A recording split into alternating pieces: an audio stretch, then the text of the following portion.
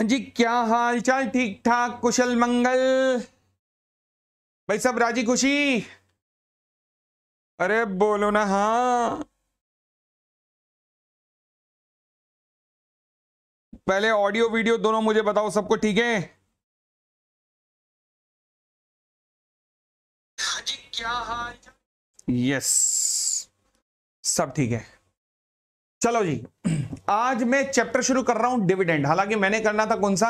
Operation and mismanagement कहा था but कोई दिक्कत नहीं। एंड टाइम पे थोड़ा सा स्ट्रेटेजी चेंज करके डिविडेंड कर दिया। तो आज डिविडेंड करते हैं और, फिर उसके बाद अगला चैप्टर ऑपरेशन एंड मिसमैनेजमेंट कर देते हैं। चले। तो लेट अस प्रोसीड फर्दर हाँ जी dividend ten ten ten. Dividend जो है सेक्शन कंटेन करता है सेक्शन 123 से लेकर सेक्शन 127 तक। Dividend hmm.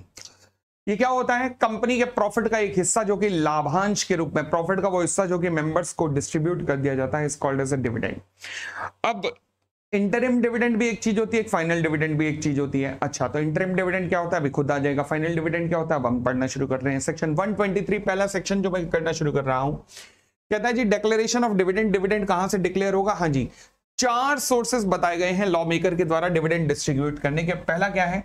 Out of the profit okay जो कि डेप्रिसिएशन के बाद आएगा। वो प्रॉफिट जो कि डेप्रिसिएशन के बाद आता है, उसमें से डिविडेंड डिस्ट्रीब्यूट किया जा सकता है। वो प्रॉफिट जो कि डिविडेंड जो कि डेप्रिसिएशन घटाने के बाद आएगा ओके फिर, वो जो प्रॉफिट एंड लॉस में बैलेंस पड़ा होता है ना बैलेंस शीट के अंदर प्रॉफिट एंड लॉस के क्रेडिट बैलेंस जो पड़ा होता है उसमें से भी डेप्रिसिएशन घटाने के बाद आएगा। अच्छा फिर कहता है करंट ईयर का प्रॉफिट ले लो, वो जो बैलेंस शीट में प्रॉफिट एंड लॉस पड़ा है, वो ले लो। उन दोनों में से भी डिविडेंड डिक्लेयर किया जा सकता है। अच्छा ये भी हो गया, ठीक है। फोर्थ सोर्स एक और है। फोर्थ सोर्स क्या है? कहता है जी money provided by the central government और स्टेट गवर्नमेंट ये क्या है? ये एक्चुअल में गारंटी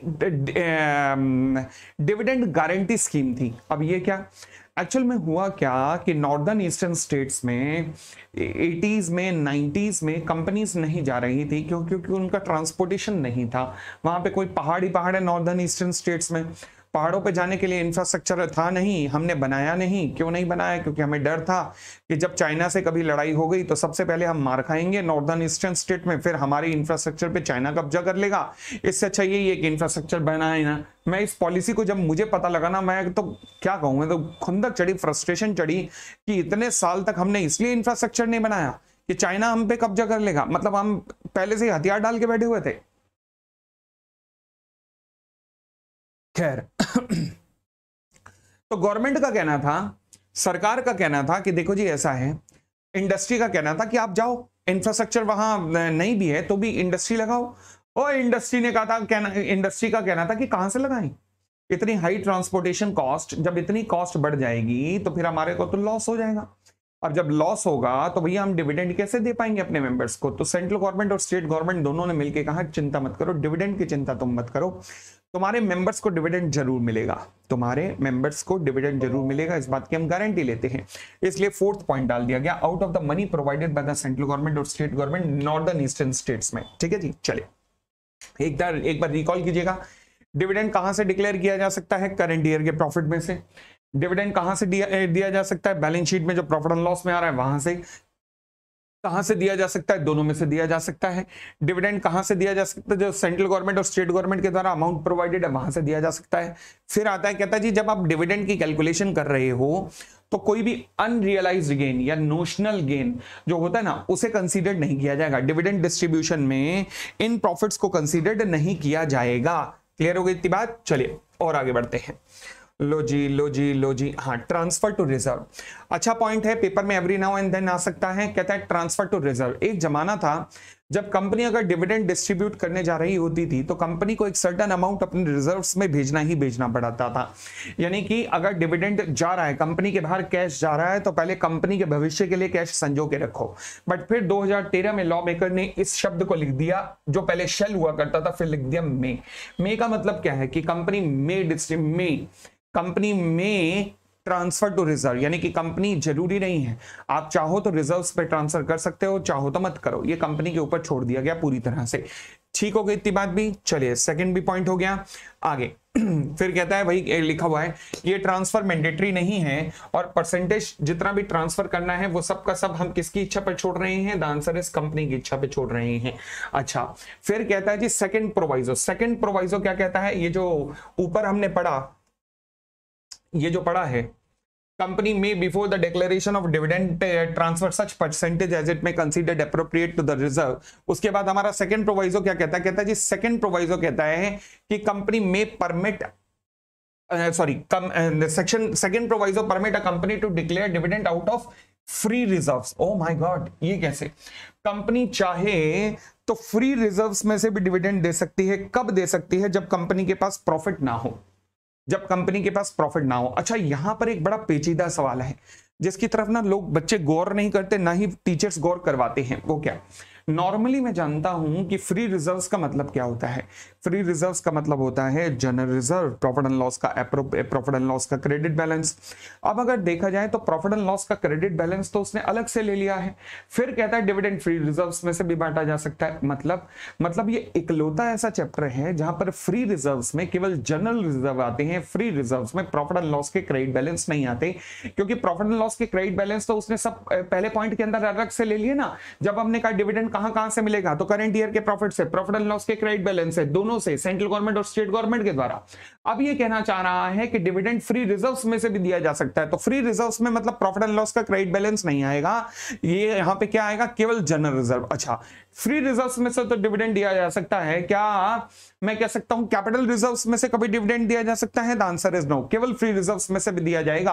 वो भी कब? जब कंपनी का प्रॉफिट सफिशिएंट नहीं होगा या कंपनी को लॉस होगा, मगर फिर भी आग लगी पड़ी है डिविडेंड देने की तो वहाँ पर ऐसा किया जा सकता है। ओके तो यही लॉ मेकर कहता है कि कोई भी और रिज़र्व डिविडेंड के लिए डिस्ट्रीब्यूट नहीं किए जाएँगे। अच्छा गवर्नमेंट कंपनी में ये अप्लाई नहीं होगा। सेकेंड प्रोवाइजो गवर्नमेंट कंपनी में अप्लाई नहीं होगा। मतलब मतलब क्या? गवर्नमेंट कंपनी में आग लगी पड़ी है तुम्हें डिविडेंड देने की? क्या आग लगी पड़ी है डिविडेंड देने की ऐसी?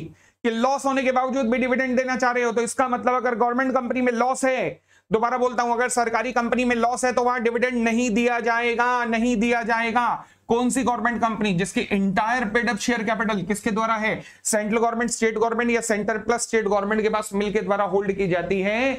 तो वहाँ पर अगर लॉस होता है तो dividend out of the free reserve नहीं दिया जाएगा। क्लियर हो गई इतनी बात? चले और आगे बढ़ते हैं। Dividend only after adjustment of the loss और अनऑब्जॉर्व डेप्रिसिएशन हाँ जी, ये पॉइंट अपने आप में फालतू पॉइंट है वैसे। कहीं ना कहीं ये पॉइंट बनाते हुए लॉ मेकर लग रहा है इनकम टैक्स से प्रभावित था। क्योंकि टैक्स में तो कॉन्सेप्ट आता है अनऑब्जॉर्ब डेप्रिसिएशन का कैरिड फॉरवर्ड लॉस का। बट क्या अकाउंट्स में ऐसा कोई कॉन्सेप्ट आता है? नहीं अकाउंट्स में तो भाई बड़ी सीधी सी बात है। लॉस है तो लॉस है बाय नेट लॉस ठीक है ना? प्रॉफिट है तो प्रॉफिट है टू नेट प्रॉफिट लॉस है तो बाय नेट लॉस अच्छा सिमिलरली क्या लॉ क्या अकाउंट्स के अंदर कभी आपने अनऑब्जॉर्ब डेप्रिसिएशन का कॉन्सेप्ट समझा? नहीं? तो बात क्या है? बात बड़ी सीधी सी है। वो कहता है कि पहले कोई भी अनऑब्जॉर्ब डेप्रिसिएशन नहीं रहनी चाहिए।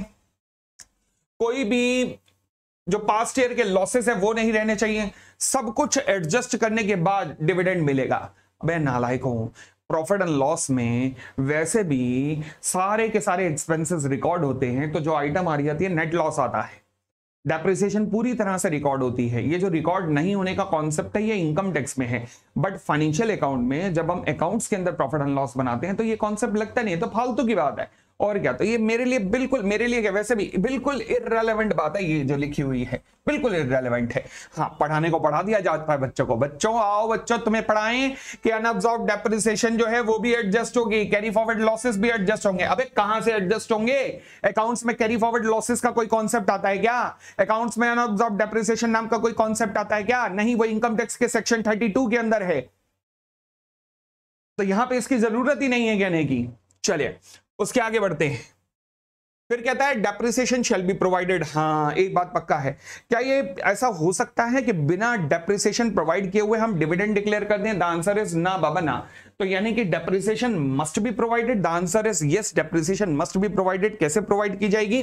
In accordance with schedule two जब तक डेप्रिसिएशन प्रोवाइड नहीं होगी, तब तक डिविडेंड डिक्लेयर नहीं होगा। अच्छा एक और बात। ये जो रेट ऑफ़ डेप्रिसिएशन शेड्यूल में दिए हुए हैं शेड्यूल टू के अंदर ये मिनिमम रेट हैं। आप चाहो तो इससे ऊपर डेप्रिसिएशन के रेट प्रोवाइड कर दो, हमें कोई दिक्कत नहीं, परंतु उससे नीचे के रेट प्रिस्क्राइब नहीं होंगे, ध्यान रखना। फिर depositing the amount of the dividend law क्या कहता है? कहता है, जो भी आप डिविडेंड डिक्लेयर करना चाहते हैं, वो डिविडेंड डिक्लेयर करने के बाद एक शेड्यूल बैंक में जमा कर दीजिए। एक सेपरेट अकाउंट खोलिए, कहाँ पर शेड्यूल बैंक के अंदर, और वहाँ पर डिविडेंड जमा कर दीजिए कितने दिन में? विद इन फाइव डेज़ यानी कि क्या बना? डेक्लेरेशन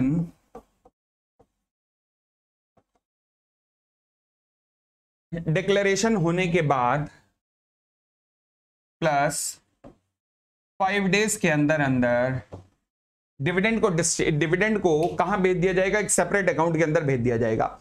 ये रिक्वायरमेंट नहीं लगेगी गवर्नमेंट कंपनी पे।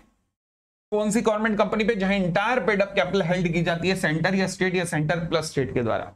सेंटर या स्टेट या सेंटर प्लस स्टेट के द्वारा। ठीक हो गई इतनी बात? चलिए। और आगे बढ़ते हैं। फिर आता है पेमेंट ऑफ़ डिविडेंड हाँ जी। डिविडेंड कैसे पे किया जाएगा? लॉ कहता है डिविडेंड कैसे पे किया जाएगा? कैश में। अच्छा कैश का मतलब क्या है?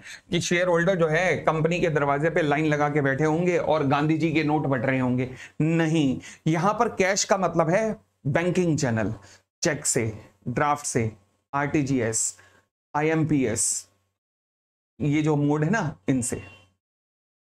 तो कैश का मतलब कैश नहीं है, कैश का मतलब बैंकिंग चैनल है यहाँ। रोकड़े में कभी, यानी कि नोटों में कभी डिविडेंड नहीं मिलता, ध्यान रखना, ठीक है? चलिए तो वो लिखा हुआ है, कहता चेक से दे सकते हो, वारंट के थ्रू दे सकते हो, डिविडेंड वारंट एक जमाना था जब आया करते थे, आजकल नहीं आते, आजकल चेक भी नहीं आता, आजकल तो इलेक्ट्रॉनिक मोड के थ्रू हो जाता है, सीधा क्लियर, चलिए। फिर कहता है डिविडेंड केवल और केवल रजिस्टर्ड शेयर होल्डर को मिलेगा। अच्छा या उसके ऑर्डर पर, वो अगर कहेगा कि मेरा डिविडेंड किसी और को दे दो तो उसके ऑर्डर पर मिलेगा, या फिर अदरवाइज़ उसके बैंकर को मिलेगा। ठीक हो गई इतनी बात भी। बहुत सिंपल सा था, कोई ज़्यादा दिक्कत नहीं है। आगे prohibition on declaration of dividend हाँ जी।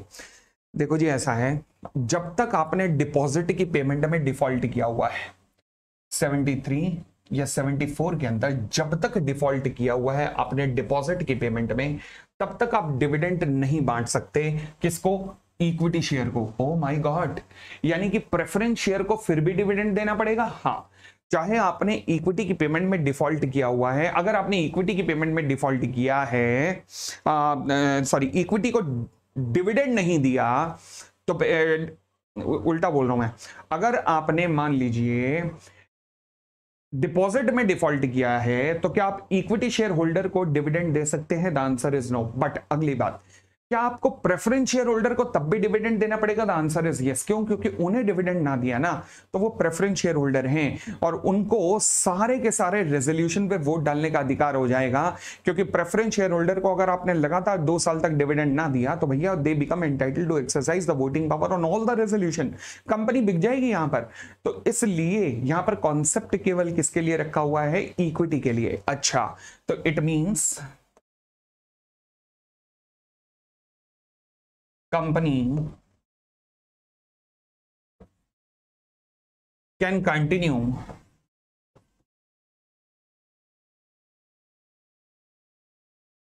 to pay dividend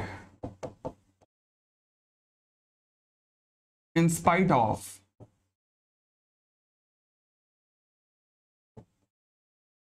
default to pay dividend to preference shareholder in spite of default, in payment to, in payment of deposits. तो कंपनी ने अगर डिपॉजिट्स की पेमेंट में डिफ़ॉल्ट भी किया हुआ है, तब भी company can distribute can continue to pay dividend to the preference share holder तो प्रेफरेंस शेयर होल्डर का डिविडेंड नहीं रुकेगा, ध्यान रखना। ठीक हो गई इतनी बात?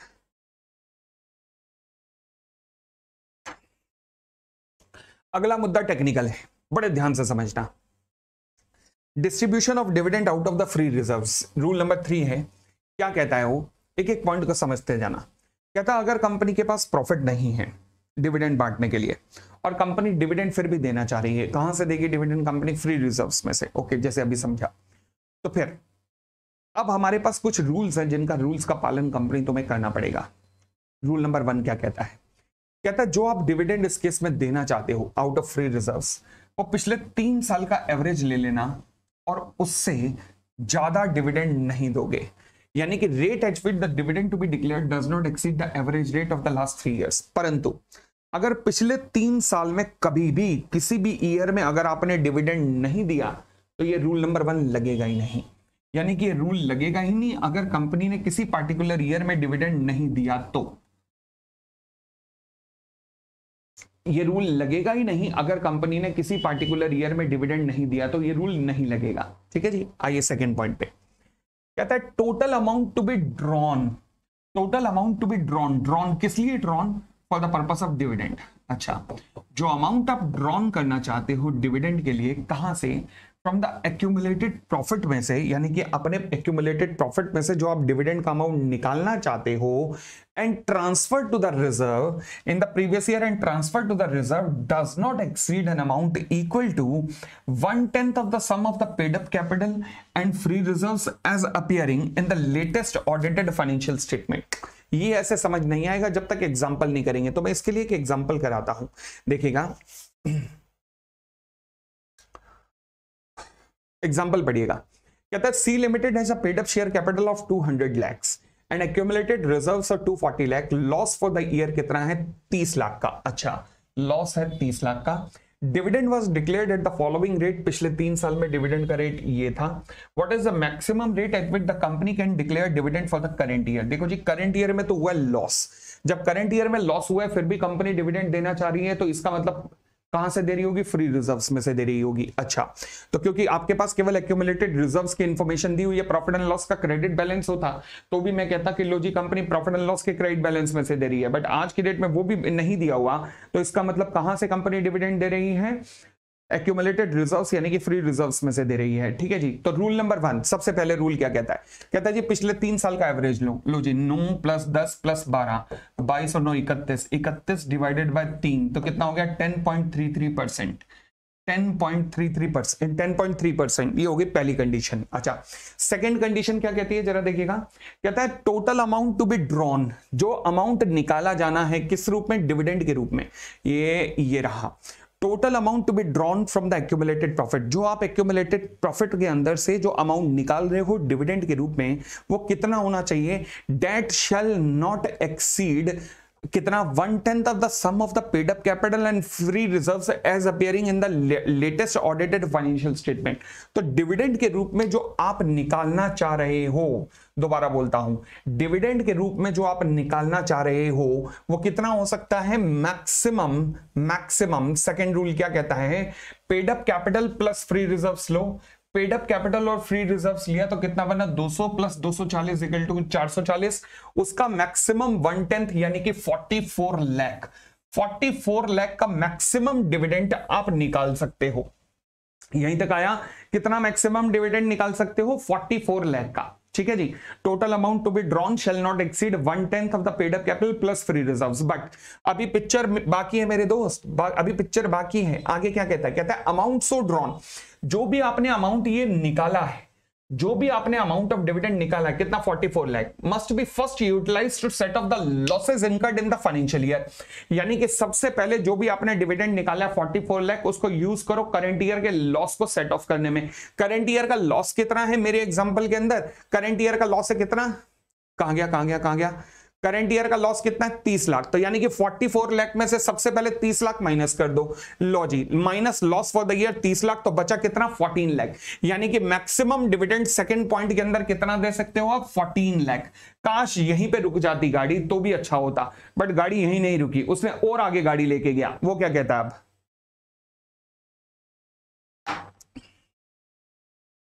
कंडीशन नंबर सी एक और लगा दी। कंडीशन नंबर सी आइएगा। वो क्या कहता है?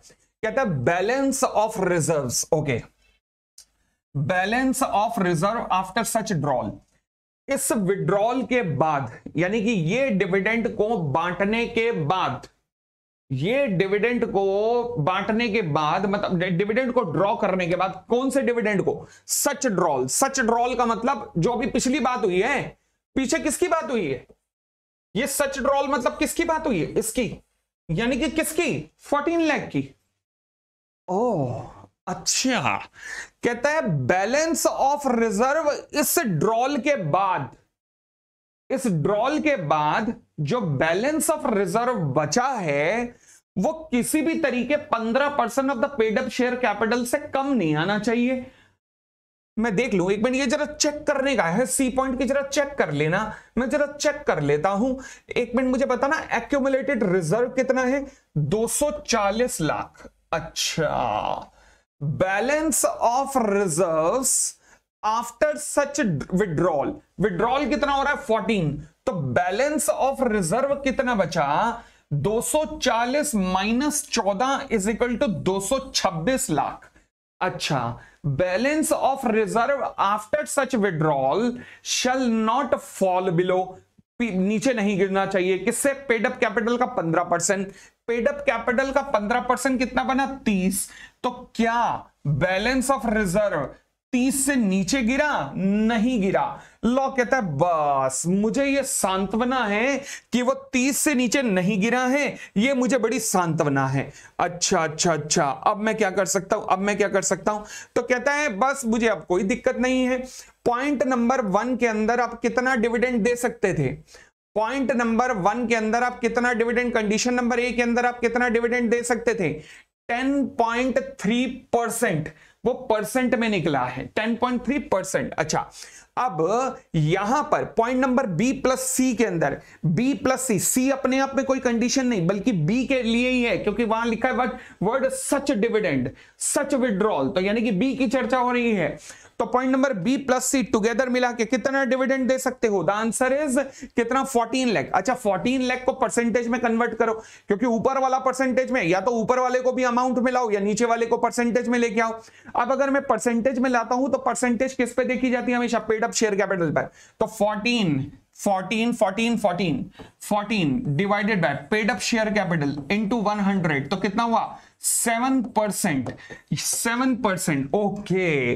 तो point number B plus C के अंदर डिविडेंड का रेट आता है, seven percent. Point number A के अंदर डिविडेंड का रेट आता है, टेन पॉइंट थ्री परसेंट। सवाल उठा मैं डिविडेंड कितना बांट सकता हूँ? इतना बांटो इतना बांटो कि दोनों कंडीशन पूरी हो जाए। मतलब विच एवर इज़ लोअर दोनों में लिखा है which shall not exceed which shall not exceed तो यानी कि अगर मैं लोअर कर दूँ तो दोनों कंडीशन सेटिस्फाइड भाई ऊपर वाला कहता है 10.3 परसेंट से ज़्यादा नहीं।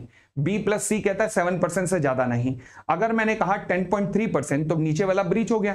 परंतु अगर मैंने कहा मैक्सिमम 7 परसेंट तो बी और सी भी सेटिस्फाई और ए भी सेटिस्फाई तो कहानी ये है कि ए और B plus C whichever is lower यानी कि 7 परसेंट का मैक्सिमम डिविडेंड डिस्ट्रीब्यूट हो सकता है। अगर आप फ्री रिज़र्व में से देना चाहते हो तो समझ आया तो बोलो ना हाँ।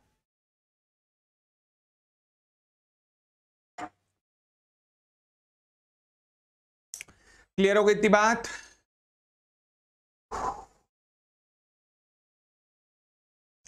अब मेरा कॉन्सेप्ट आता है आगे। अरे लाइट आ जा। हमारे यहाँ पता नहीं क्या प्रॉब्लम हो गया है गाजियाबाद के अंदर मतलब कौशाम्बी के अंदर। ट्रांसफार्मर कल से खराब चल रहा है।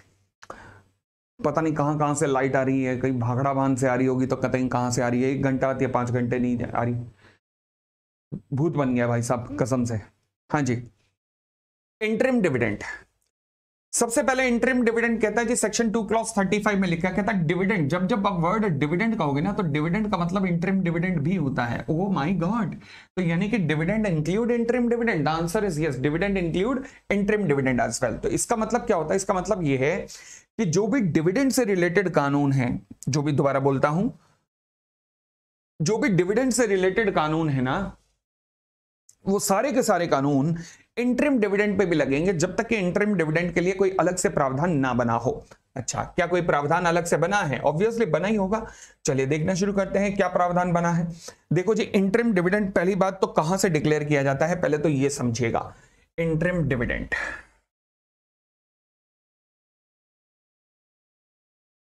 लो जी। कहाँ से डिक्लेयर किया जाता है इंटरिम डिविडेंड ये है फाइनेंशियल ईयर एक अप्रैल 2021 से लेकर 31 मार्च 2022 तक।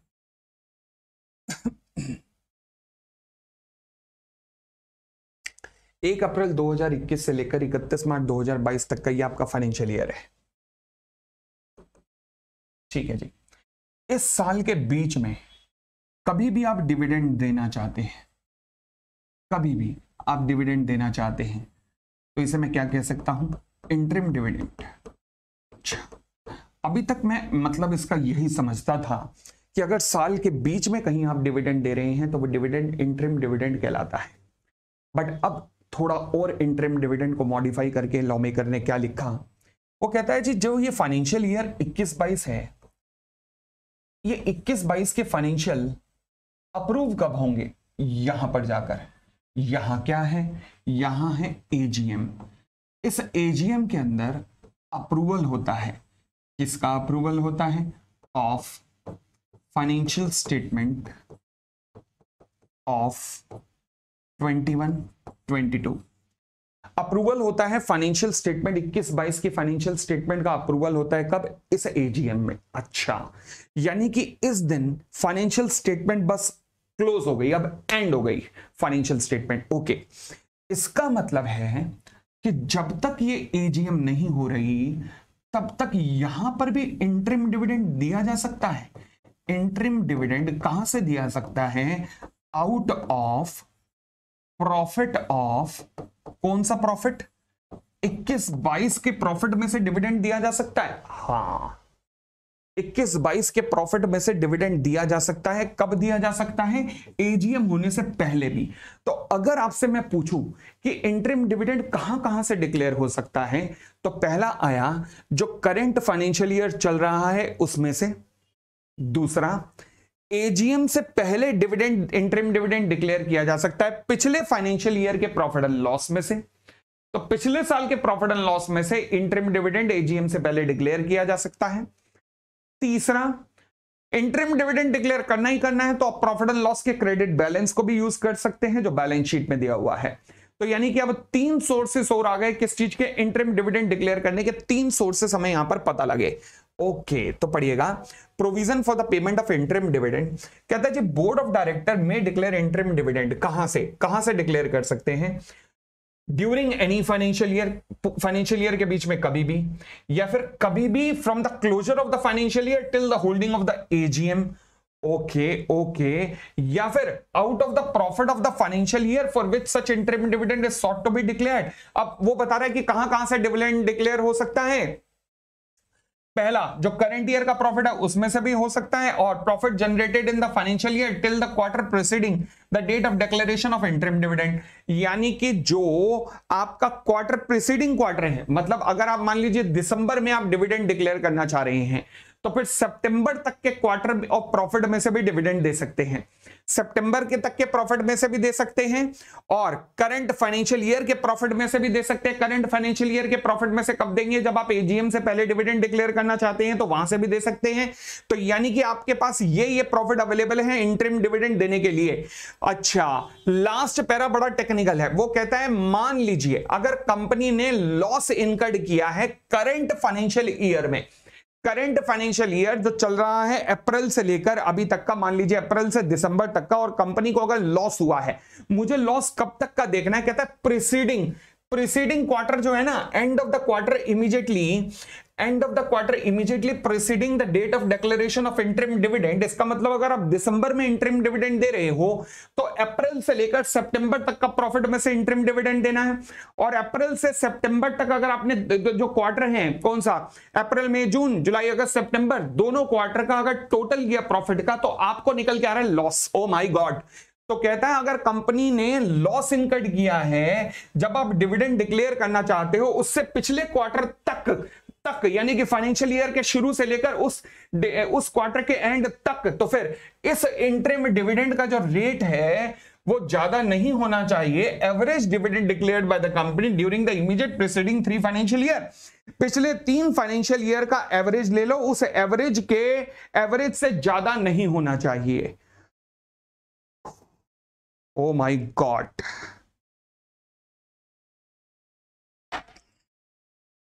ये कब होगा?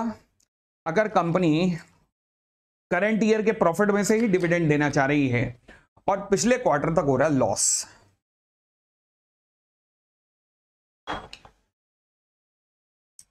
पिछले क्वार्टर तक अगर कंपनी को हो रहा है लॉस। समझ गए बात? चलिए तो ये हमारा था पूरे का पूरा सेक्शन 123 तेल निकल गया भाई साहब। 123 में। और इसलिए भी निकल गया, क्योंकि लाइट नहीं और गर्मी में पढ़ाना पड़ रहा और मेरा सही में तेल निकल गया पढ़ाते पढ़ाते ही। हे माँ माता जी चलो जी, खैर, आगे बढ़ते हैं।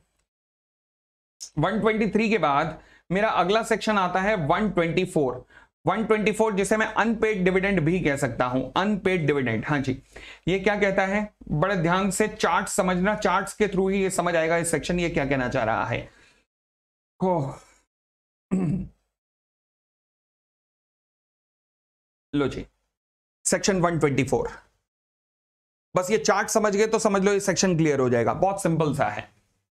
सारा खेल केवल इन चार्ट्स में है, जो कि अब हम शुरू करने वाले हैं। हो सके तो मेरे साथ ये चार्ट बना लेना पेपर में बहुत मदद मिलेगी तुम्हें ये सेक्शन 124 एटलीस्ट याद करने के अंदर। कहता है जी, आपने क्या किया? डिविडेंड किया डिक्लेयर्ड पांचवा जो दिन था, वहाँ तक आपने डिविडेंड उठा के स्पेशल अकाउंट में ट्रांसफ़र कर दिया। ट्रांसफ़र टू स्पेशल अकाउंट ये आपने डिविडेंड को ट्रांसफ़र कर दिया पाँचवें दिन तक। ठीक है? डिविडेंड की पेमेंट आपने करनी है कब तक? तीस दिन के अंदर। जिस दिन डिक्लेयर किया है ना थर्टी डे के अंदर डिक्लेरेशन के तीस दिन के अंदर अंदर पेमेंट ऑफ़ डिविडेंड आपने करनी है। पेमेंट ऑफ़ डिविडेंड तो डिक्लेयर करने के तीस दिन के अंदर अंदर पेमेंट ऑफ़ डिविडेंड आपने करनी है। अच्छा उसके बाद, अगर आप मान लीजिए तीस दिन तक डिविडेंड की पेमेंट नहीं हो पाती, क्यों? क्योंकि आपने जिन अकाउंट्स में डिविडेंड ट्रांसफ़र किया, वो अब अकाउंट बंद हो चुके हैं। जहाँ आपने डिविडेंड के चेक भेजे, वो सारे के सारे वापस आ चुके हैं। अब, यहाँ से सात दिन के अंदर तीस दिन के बाद, सात दिन के अंदर अंदर आप सारा डिविड जो अनपेड डिविडेंड है सेवन डेज़ के अंदर, जो भी अनपेड या फिर अनक्लेम्ड डिविडेंड है, वो सारा का सारा डिविडेंड उठाकर ट्रांसफ़र कर देंगे। चाहे वो अनक्लेम्ड कह लो, चाहे वो अनपेड कह लो, वो सारा का सारा ट्रांसफ़र हो जाएगा एक स्पेशल अकाउंट में, जिसे हम कहते हैं unpaid dividend account unpaid dividend account लो जी। सात दिन के अंदर अंदर सारा ट्रांसफ़र हो जाएगा अनपेड डिविडेंड अकाउंट के अंदर। ओके जिस दिन आपने ट्रांसफ़र किया है, जिस दिन भी, सात दिन के अंदर होना चाहिए। जिस दिन भी आपने अनपेड डिविडेंड अकाउंट में ट्रांसफ़र किया है, उसके नब्बे दिन के अंदर अंदर 90 डेज़ के अंदर अंदर कंपनी की वेबसाइट के ऊपर एक डिटेल आ जानी चाहिए, पूरी की पूरी डिटेल, कि कौन कौन से वो शेयर होल्डर हैं जिनको डिविडेंड नहीं मिल पाया है। यानी कि डिटेल ऑफ़ अनपेड या अनक्लेम्ड कह दो, कहाँ पर आ जानी चाहिए? ऑन वेबसाइट कब आ जानी चाहिए? नब्बे दिन के अंदर अंदर, दोबारा बोलता हूँ, नब्बे दिन के अंदर अंदर ठीक हो गई थी बात?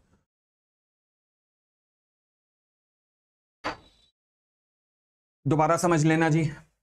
कंपनी तुमने डिविडेंड डिक्लेयर किया। डिविडेंड डिक्लेयर करने के पाँच दिन के अंदर अंदर तुम्हें स्पेशल अकाउंट में ट्रांसफ़र करना है। डिविडेंड डिक्लेयर करने के तीस दिन के अंदर अंदर तुम्हें पेमेंट ऑफ़ डिविडेंड करनी है। जब तुमने 30 दिन के अंदर अंदर पेमेंट ऑफ़ डिविडेंड करनी है तो फिर अगर मान लीजिए कोई पेमेंट ऑफ़ डिविडेंड नहीं हुई तो अगले सात दिन के अंदर अंदर सारी पेमेंट को उठा के ट्रांसफ़र कर दो एक अनपेड डिविडेंड अकाउंट के अंदर। जिस दिन तुमने ट्रांसफ़र किया, उस ट्रांसफ़र के 90 दिन के अंदर अंदर डिटेल ऑफ़ अनपेड या अनक्लेम्ड डिविडेंड रिफ्लेक्ट कर दो कहाँ पर? वेबसाइट पर। कहाँ पर रिफ्लेक्ट कर दो? वेबसाइट पर। इतनी बात भी क्लियर हो गई? इतनी बात? चलिए। अब जो ये पैसा अनपेड डिविडेंड अकाउंट में आया है, क्या ये अंडे देगा वहाँ बैठकर मतलब इस पैसे का होगा क्या? अनपेड डिविडेंड के अंदर अगर ये पैसा आया है तो इसका कुछ तो होगा। हाँ बिल्कुल होगा। क्या होगा? लो कहते हैं, लो, हम बताते ना कमालोगे जान मांगी होती, बताओ। हैं? बस इतनी सी बात। ये लो जी।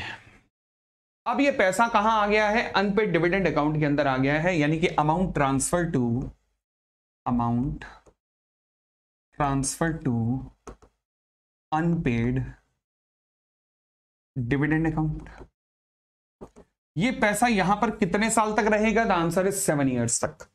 सात साल तक। अच्छा। सात साल के बाद इस अकाउंट का, इस पैसे का क्या होगा? सात साल के बाद ये अमाउंट ट्रांसफ़र हो जाएगा। Transfer to investor education and protection fund के अंदर। कहाँ ट्रांसफ़र हो जाएगा? Investor education and protection fund के अंदर ट्रांसफ़र हो जाएगा। ओके। न ट्रांसफ़र केवल अमाउंट नहीं होगा, अनपेड डिविडेंड का अमाउंट नहीं, बल्कि उस पर शेयर्स जो थे वो भी ट्रांसफ़र हो जाएँगे। क्या क्या ट्रांसफ़र होगा? Amount of dividend, amount of dividend plus जो उनके रिस्पेक्ट में शेयर्स हैं, वो भी ट्रांसफ़र हो जाएँगे। ओले अच्छा। अब अगली बात। सात साल तक कोई भी शेयर होल्डर जो कि पहले क्लेम नहीं कर पाया, क्या वो सात साल के अंदर अंदर क्लेम कर सकता है? यस किससे? कंपनी से। यानी कि share holder can claim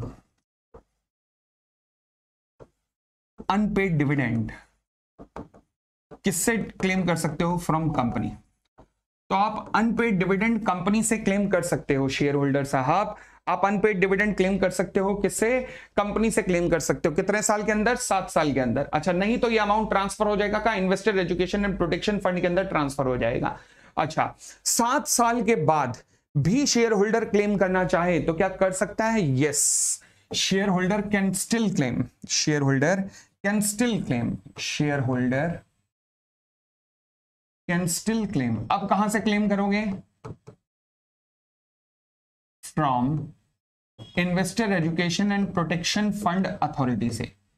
Investor education and protection fund authority से, ये एक अथॉरिटी होगी जिसके पास अमाउंट चला जाएगा तो वहाँ से आप अमाउंट क्लेम कर सकते हो। ओह, लो जी। तो ये आपका पूरे का पूरा कॉन्सेप्ट था, ये दो चार्ट्स के अंदर पूरा कॉन्सेप्ट आपका समाया हुआ है, बस। और ये आपका पूरे का पूरा सेक्शन 124 है, ना इसके आगे कोई, ना इसके पीछे कोई, बस ये सिंपल सा सेक्शन 124 है और कुछ भी नहीं है। ठीक हो गई थी बात? और आगे बढ़ सकते हैं। चलिए जी 124 के बाद मैं आता हूँ पहले 125 से पहले आता हूँ मैं 126 की तरफ़।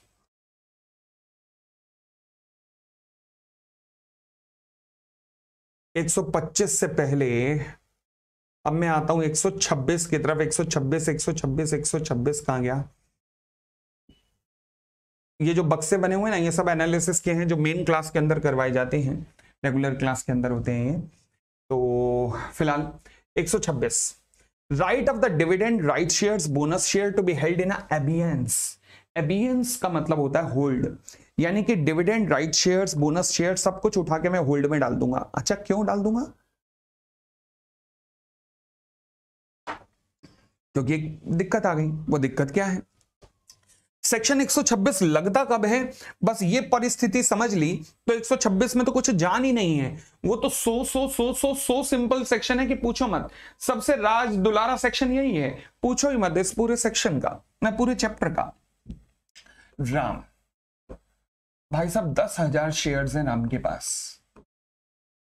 राम दस हज़ार शेयर ट्रांसफ़र करना चाहता है।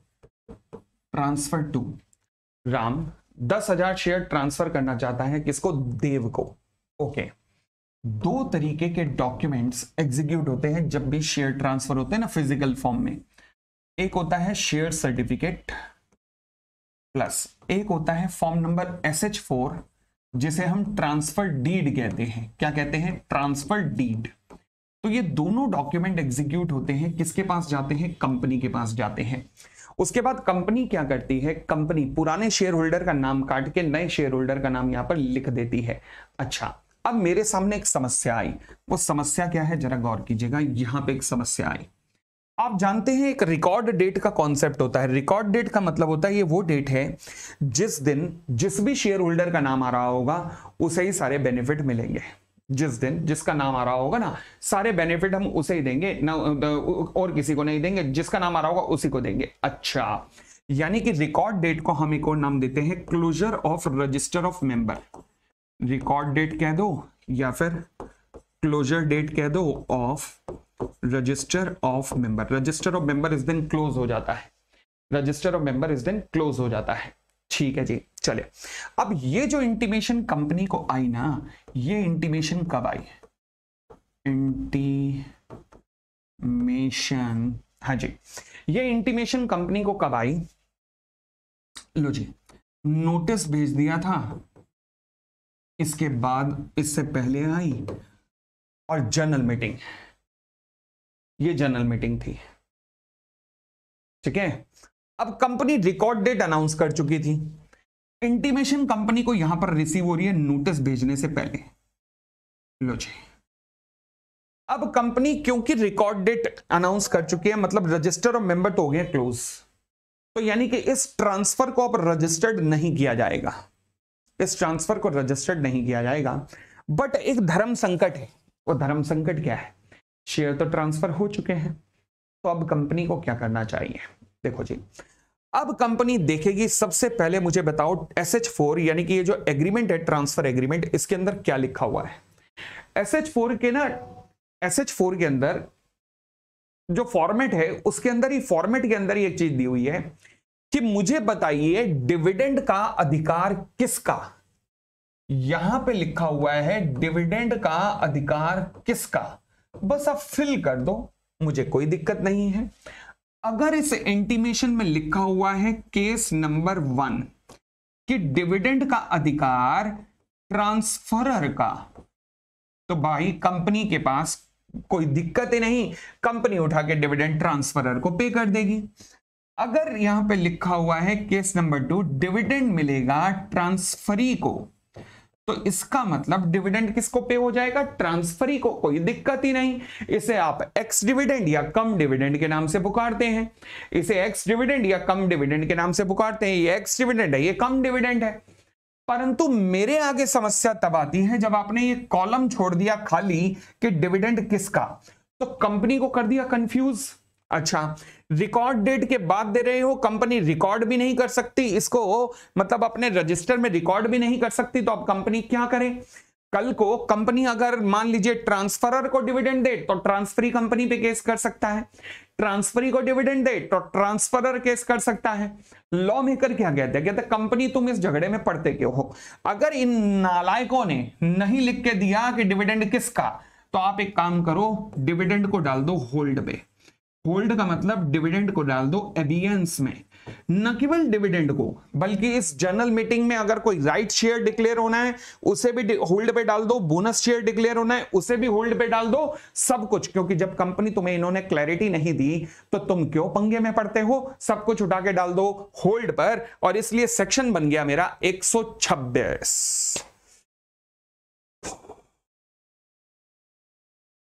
जो क्या कहता है? कहता है, अगर instrument of transfer instrument of transfer का मतलब शेयर ट्रांसफ़र डीड मतलब एस एच फोर अगर कंपनी को डिलीवर होता है बट कंपनी इस ट्रांसफ़र को रजिस्टर्ड नहीं करती है क्यों नहीं करती? क्योंकि क्लोजर ऑफ़ रजिस्टर मेंबर हो चुका है रिकॉर्डेड हो चुका है। तो कंपनी को क्या करना चाहिए? डिविडेंड इन इन शेयर्स पे जो डिविडेंड है, उसे अनपेड डिविडेंड अकाउंट में ट्रांसफ़र कर देना चाहिए और होल्ड पे डाल देना चाहिए, ना केवल डिविडेंड बल्कि राइट या बोनस शेयर भी उन पे होल्ड पे डाल देना चाहिए। हाँ समझ आ गई बात? और आगे बढ़ते हैं।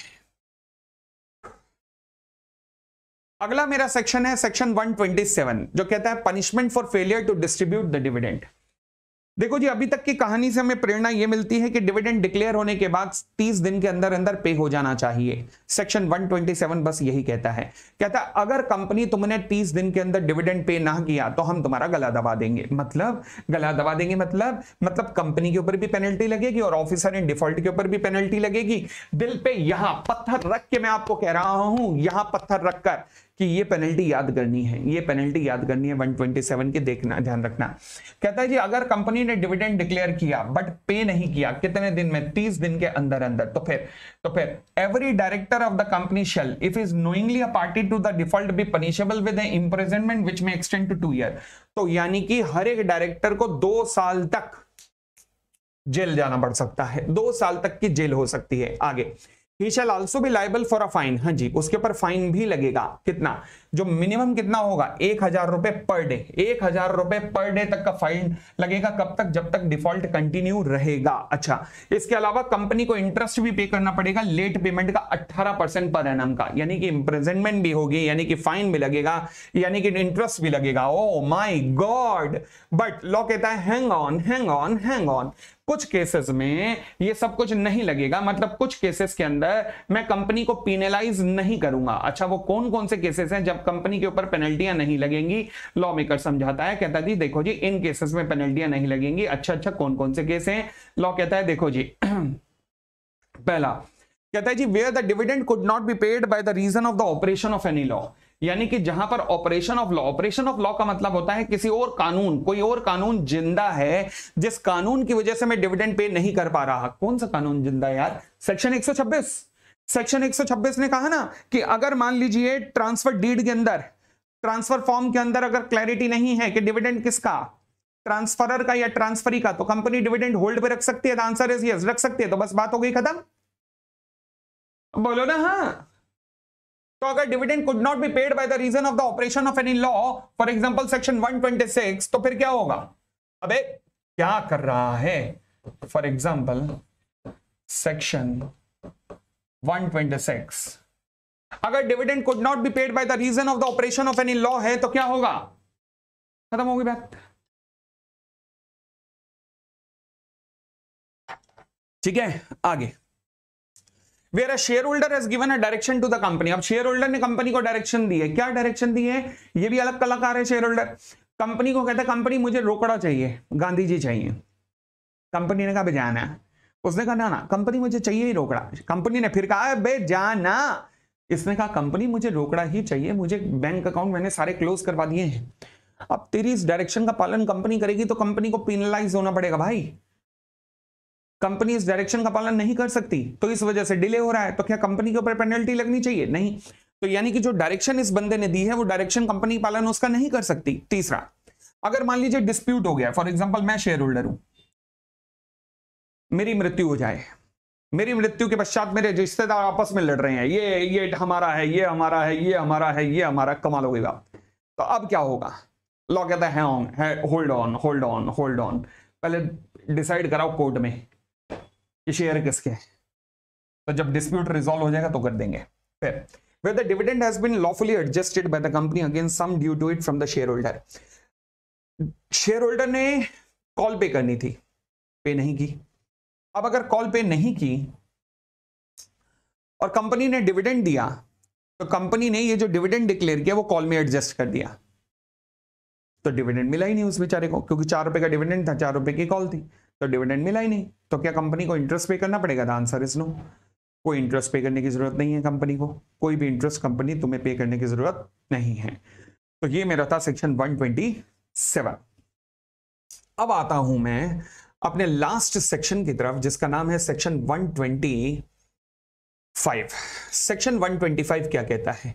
ये बात करता है investor education and protection fund की। किसकी बात करता है? Investor education and protection fund की। Okay okay. सबसे पहली बात, इस फंड की स्थापना कौन करता है? The answer is central government करती है।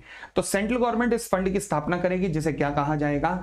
Investor education and protection fund के नाम से पुकारा जाएगा। अच्छा दूसरा, हमारे पास जो सबसे महत्वपूर्ण मुद्दा आता है वो ये है, जो क्वेश्चन पूछ सकता है वो ये है कि investor protection, investor education and protection fund में क्रेडिट होने वाले चार या पाँच अमाउंट बताइए और उसमें से विड्रॉल होने वाले चार या पाँच अमाउंट बताइए। बस, इतना सा सवाल आपसे पूछा जा सकता है, ज़्यादा से ज़्यादा 125 पे और कुछ नहीं। तो यानी कि ले देकर पॉइंट नंबर टू और पॉइंट नंबर थ्री के ऊपर सवाल पूछा जा सकता है, बस ध्यान रखना। अब यहाँ पर कौन कौन से अमाउंट क्रेडिट होते हैं। एक छोटा सा आपको कोड बताता हूँ कौन कौन से अमाउंट क्रेडिट होते हैं। हाँ जी, पंजाब से जो लोग हैं ना, पंजाब साइड के, उन्हें तो बड़ा ही पसंद आएगा, पूछो मत। हालाँकि मैं भी पंजाब साइड से हूँ, मैं फिर भी बता रहा हूँ। हाँ जी, क्या पसंद कैसा आएगा? अच्छा ऐसा कैसे? I, E, P, F, plus plus. Code बड़ा पसंद आएगा। Four D, plus peg. और ला पटियाला पैग। हाँ जी। चलिए। भाई साहब, मैं पीता नहीं हूँ, ध्यान रखना। पेग। आगे बढ़े। हाँ जी। अब ये बस कोड ध्यान रख लेना। Investor education and protection fund. देखो जी, investor education and protection fund एक तो बनाया है कंपनी एक्ट 2013 में। एक बना है कंपनी एक्ट 1956 का। तो जो कंपनीज़ एक्ट 1956 का investor education and protection fund था, उसमें जो अमाउंट पड़ा था, वो उठा के अब 2013 वाले investor education and protection fund में ला दो।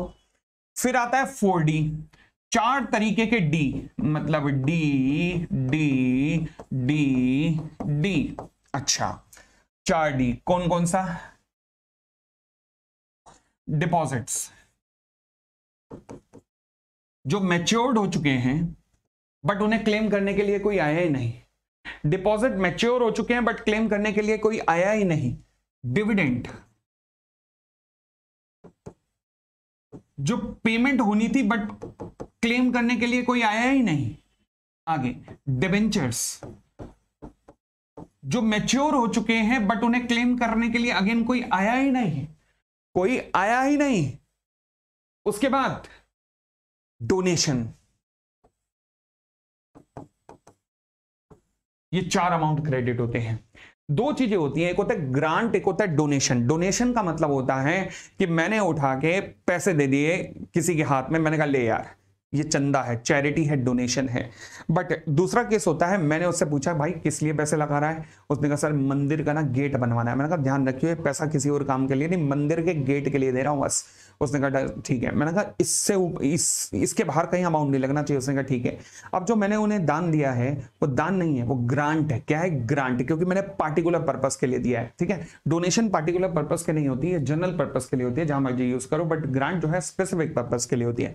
फिर आता है पेग होए पेग हाँ जी पेग में पी वो प्रेफरेंस शेयर कैपिटल जो रिडीम हो चुकी है, जिसकी रिडम्शन डेट आ चुकी है, परंतु क्लेम करने कोई आया नहीं है। अच्छा। जी ग्रांट ये अमाउंट भी क्रेडिट होगा। ए शेयर एप्लीकेशन मनी वो एप्लीकेशन मनी जो रिसीव तो हुआ बट उसके बाद कोई अलॉटमेंट के लिए आया ही नहीं, कोई क्रेडिट कोई क्लेम करने के लिए आया ही नहीं। तो ये सारे अमाउंट क्रेडिट होते हैं कहा? Investor education and protection fund में। आपने आठ लिख लिए हैं। मुश्किल से चार या पाँच पूछेगा। हालाँकि एक दो बुक में और भी लिखे होंगे, आप पढ़ना चाहो तो वो पढ़ सकते हो असाइनमेंट में से बट आठ भी कर लिए तो बहुत ज़्यादा रहेंगे। अच्छा आप सोचिए, ये तो अमाउंट क्रेडिट हो रहे हैं। Investor education and protection fund का यूज़ क्या होगा? खुद बताओ। नाम क्या है? Investor education and protection fund तो जो नाम है, उसी काम में यूज़ होगा। यानी कि इन्वेस्टर की एजुकेशन में और वहाँ पे यूज़ होगा। अच्छा दूसरा दूसरा यूज़ बोलो। प्रेफरेंस शेयर वाले कल को आ सकते हैं क्लेम करने के लिए। तो उन प्रेफरेंस शेयर को पेमेंट करने में यूज़ होगा। ठीक है। कल को डिपॉजिट वाले क्लेम करने आ सकते हैं तो उनको डिपॉजिट वालों को पे हो जाएगा। डिविडेंड वाले आ सकते हैं तो उनको डिविडेंड वालों को पे हो जाएगा। डिवेंचर वाले आ सकते हैं तो डिवेंचर को पे ऑफ़ करने में यूज़ हो जाएगा। लो। क्या मुश्किल लगा? बस यही 125 था। सो सिंपल क्यों? क्लियर? तो यही आपका बस डिविडेंड का चैप्टर था। अब डिविडेंड के चैप्टर में एक और चीज़ है जो मैं आपको होमवर्क के लिए दे रहा हूँ। ये होमवर्क में होमवर्क में दे रहा हूँ क्योंकि बहुत सिंपल सा है, बहुत सिंपल सा है। वो कहता है डिविडेंड डिस्ट्रीब्यूशन पॉलिसी। देखो जी, ये पॉलिसी क्या है कि टॉप की जो 1000 कंपनी होती है in terms of the market capitalization अब मार्केट कैपिटलाइजेशन कैसे निकलता है? किसी भी कंपनी के जितने भी नंबर ऑफ़ शेयर्स होते हैं, उन शेयर्स को उनकी मार्केट वैल्यू से मल्टीप्लाई कर दो तो आपकी मार्केट कैपिटलाइजेशन निकलती है। और इस तरीके की जो टॉप की वन कंपनी होती है in terms of market capitalization उनको अपनी एक डिविडेंड डिस्ट्रीब्यूशन पॉलिसी बनाकर अपनी वेबसाइट के ऊपर डालनी ही डालनी पड़ेगी। अच्छा डिविडेंड डिस्ट्रीब्यूशन पॉलिसी में लिखा जाता है प्रॉपर तरीके से कि हम शेयर होल्डर को डिविडेंड कब कब देंगे, कब कब नहीं देंगे डिविडेंड देने से पहले कौन कौन सी परिस्थितियाँ होनी चाहिए डिविडेंड मतलब किन परिस्थितियों में नहीं दिया जाएगा, किन परिस्थितियों में दिया जाएगा, ये सारी एक पॉलिसी होती है हर कंपनी की अलग अलग जो कि उसकी वेबसाइट पर दी होती है। बस, ये उस पॉलिसी के बारे में चर्चा है, बहुत थ्योरिटिकल सी चर्चा है, बहुत आसान सी चर्चा है, कोई मुश्किल नहीं पड़ेगी। तो मैं ये आपको एक बार होमवर्क में दे रहा हूँ कि आप इसे आराम से पढ़ सकते हैं। मेरा निकल रहा है तेल अब गर्मी के मारे, भाई साहब, यहाँ पे चारों तरफ़ कैमरे लगे हुए हैं और वो लाइटें पड़ रही हैं और लाइट है नहीं। ना एसी ना पंखा तो क्या स्टूडियो में होगा ही नहीं। तो भैया, निकल रहा है तेल और मैं कर रहा हूँ क्लास ऑफ़ कल हम करेंगे ऑपरेशन एंड मिसमैनेजमेंट कल मतलब अगली क्लास में फ्राइडे को। एंड मेरी कोशिश रहेगी, चाहे क्लास शायद डेढ़ घंटे की हो, मगर ऑपरेशन एंड मैनेजमेंट में आपको सात से साढ़े आठ बजे के बीच में डॉट साढ़े आठ बजे तक खत्म करके भिजवाऊँगा। ऑपरेशन एंड मैनेजमेंट उस दिन पूरा हो जाएगा। Thank you thanks a lot bye bye take care खुश रहिए खुश रहिए खुश रहिए। एंड दुआ कीजिए लाइट आ जाए चलिए। Thank you bye bye